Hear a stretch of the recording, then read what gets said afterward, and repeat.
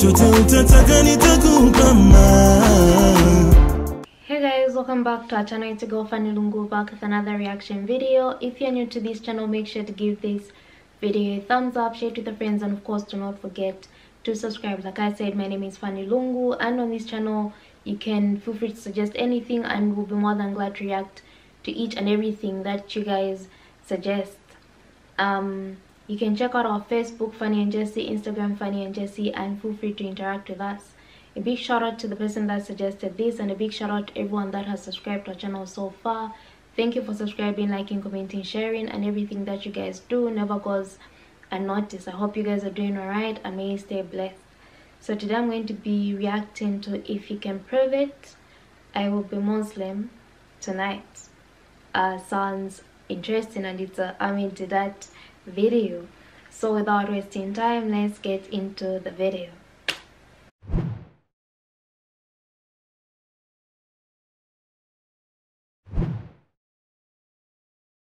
Was it really that uh, Christ Jesus wasn't crucified? He never died?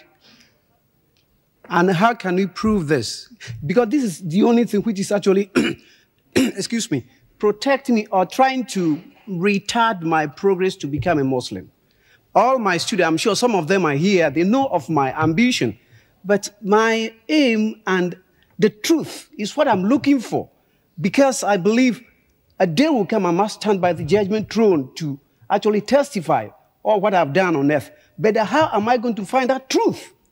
Because it has been told that we we, the Christian, believe that Christ died and rose to show to the world that after death there is life.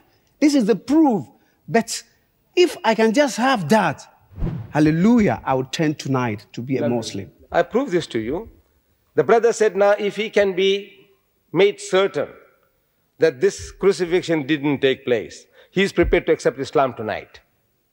Let us see. Man says, I want to find the truth. But generally, they close their eyes. They say, I want to see the sun. And I don't see the sun because his eyes are closed. And he doesn't want to open the eyes.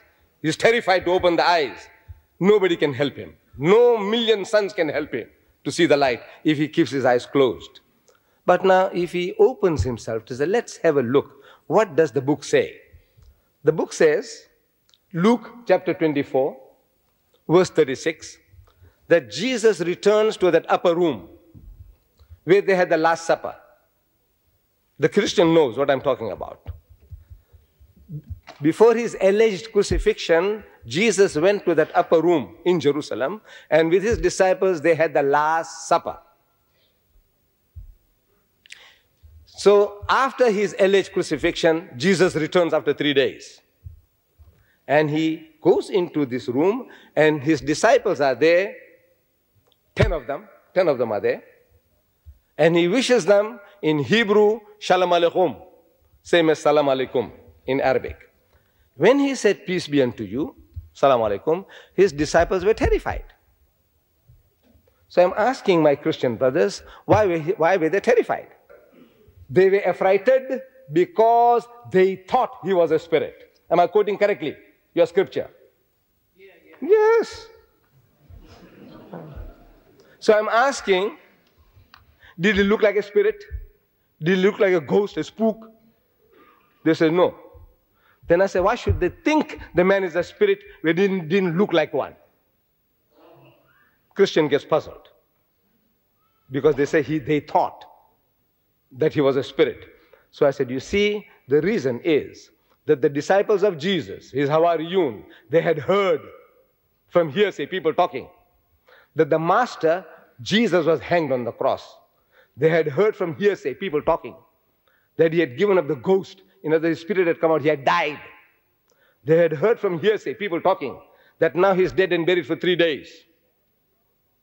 All the knowledge is from hearsay, people talking, because Mark chapter 14, verse 50, he tells us that at the most critical juncture in the life of Jesus, all his disciples forsook him and fled. All. So I'm asking, does all mean all in your language, you Englishman? He said yes. So they were not there. All the knowledge from what they heard. So, on hearsay knowledge, if you know about a man who's dead and buried for three days, you expect him to be stinking in his grave. Am I right? After three days, the man should be stinking in his grave. Such a person you see, naturally you're terrified because you think he's a spook, a ghost, a spirit. So Jesus wants to assure them that he's not what they're thinking. They're thinking he has come back from the dead, resurrected. So he says, Unzuru ila yadayya wa Says, behold my hands and my feet. Inni ana huwa. I'm the same fellow man. What's wrong with you fools? Can't you see? Inni, most certainly I, ana huwa. Husuni wanzuru. Say, handle me and see. فَإِنَّ الرُّوحَ لَيْسَ لَهُ لَمٌ وَإِزَامٌ For a spirit has no flesh and bones, as you see me have. And they felt him. And they believed not for joy. Means they were overjoyed. And wondered, what happened, man? We thought the man was dead and buried. So he says, to assure them further that this is not what they're thinking, he says, أَإِنْدَكُمْ هَاهُنَا ta'am. Have you got here anything to eat? فناولوه جزءا من سمك وشيئا من شهد عسل فأخذ وأكل قدامهم and they gave him a piece of broiled fish and a honeycomb. And he took it and he ate in the very sight to prove what? There is a ghost. He's a spook. He's a spirit. what is he proving? I'm a same fellow man, damn fools. What are you afraid of me for? This is what he's proving to them. He's telling them that he's not what you are thinking. And yet you said, look, he is. He said he's not a spirit. You say he is. Amazing, amazing sense of logic reasoning the man is telling you, I'm not, you say he is. Jesus says, I'm not God, I'm a servant of God. You say, no, he's God. Jesus says, I don't know about the Yom Al-Qiyamah. They say, no, he knows. Jesus says, I can't do everything of my own self. Say, no, he can do everything. I say, what's wrong with you people? The man is telling you, I don't know. The man is telling you, I'm the same fellow. And you say, no, he's a spirit. He says, he's not a spirit. You say, he's a spirit. I want to know whether you understand English.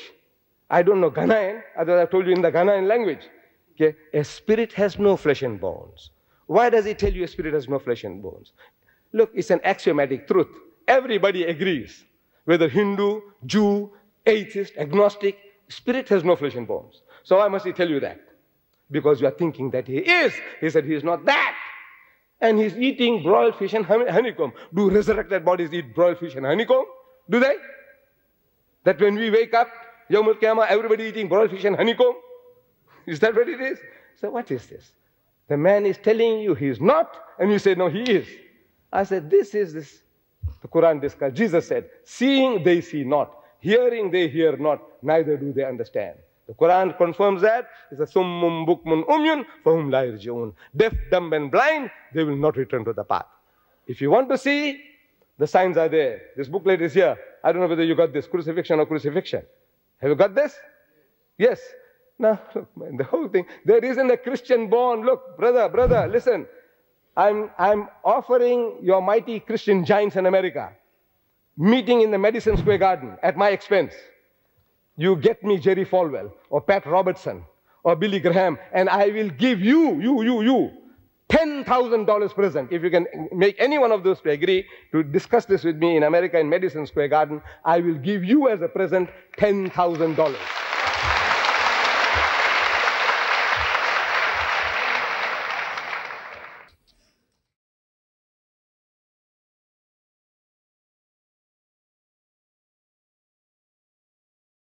Never a dull moment with Dr. Zakir Naik. Um, it's very true. Someone is going to say, I am not God. You're going to want to force things and say, This is God. Then what are you telling yourself? Meaning, many people have been lying to themselves all these times because they want to interpret things um, to their own knowledge. Jesus was a human being just like you and I. He ate normal food just like you and I. That's why, uh, by the way, I didn't even know his disciples for, um, is it for him? Is that anything past tense for forsake?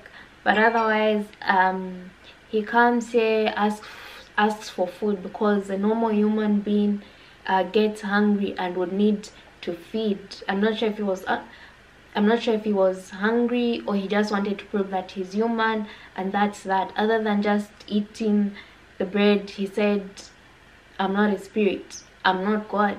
But we humans have taken these words in these um, scriptures to mean one thing. One part of the religion is saying God is Jesus or Jesus is God. The other one is saying no, he's just a messenger. So what are we doing to ourselves? At the end of the day, we're going to end up clashing and we're going to think what we believe is better than what they believe which is in I, feel like which is very wrong at the end of the day let's sit down review this thing together be open-minded this is why watching a video for example by dr zakir naik doesn't mean you're forsaking your own religion whatever you believe in it's opening you up so that if it's a bible that you're going back to you're asking yourself so why did it say this? So i have been misunderstanding this thing for a while. Uh, experience and exposure not experience but exposure is really important in life. It doesn't mean you have to do the unthinkable. It's just opening you up to know to more knowledge than you would think imaginable. Otherwise let me know what you guys actually think. And i love the way he gave his answer to the other guy and did he ever get the debate that he was asking for? Let me know what you think. Let me know what you know about the debate if it happened if it didn't the one about the madison thingy. And yeah i'd be interested to see. Make sure to give this video a thumbs up share to the friends and of course do not forget to subscribe and i'll see you in my next reaction video